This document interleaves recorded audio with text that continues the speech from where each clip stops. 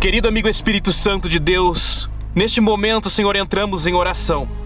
Pai, é verdade que o inimigo tem se levantado com todas as forças contra a nossa vida. Ele tem tentado fazer de tudo, Pai, para nos tirar do teu caminho. Tem tentado fazer de tudo, meu Deus, para nos entristecer, para colocar algo na nossa mente, algo no nosso espírito, algo no nosso corpo.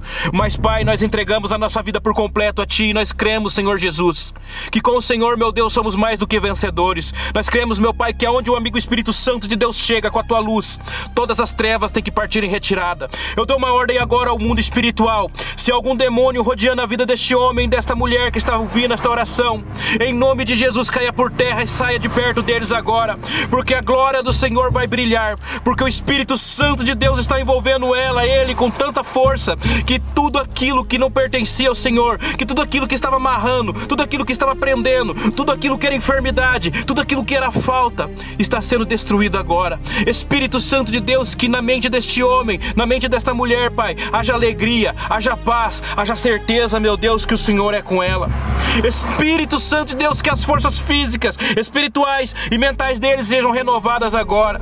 Meu Deus, a luta é grande. Muitos levantes contra a vida deste homem, muitos levantes contra a vida desta mulher, Pai. São tantos desafios que muitas vezes vem o sentimento de querer desistir e abandonar tudo. Mas o Senhor é com ele, o Senhor é com ela. E que em nome de Jesus esse sentimento de tristeza, de banimento venha cair por terra. Meu Deus, somos totalmente totalmente dependentes de Ti. Precisamos que o Senhor cuide de nós, que o Senhor esteja conosco, meu Deus. Então, Pai, cobre a vida deste homem, cobre a vida desta mulher, Pai, com o Teu santo e poderoso sangue, Senhor Jesus.